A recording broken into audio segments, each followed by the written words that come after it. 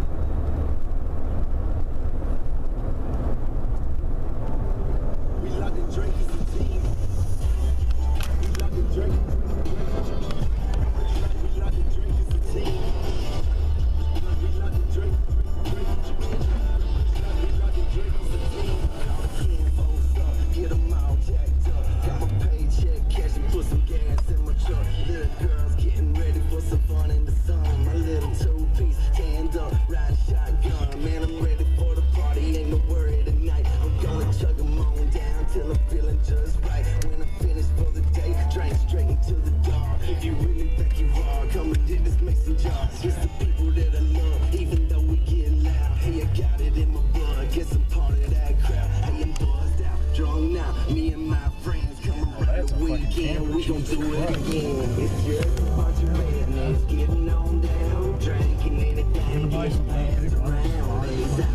that's what always. Why would you ruin your fucking transmission in when you just buy a fucking RV?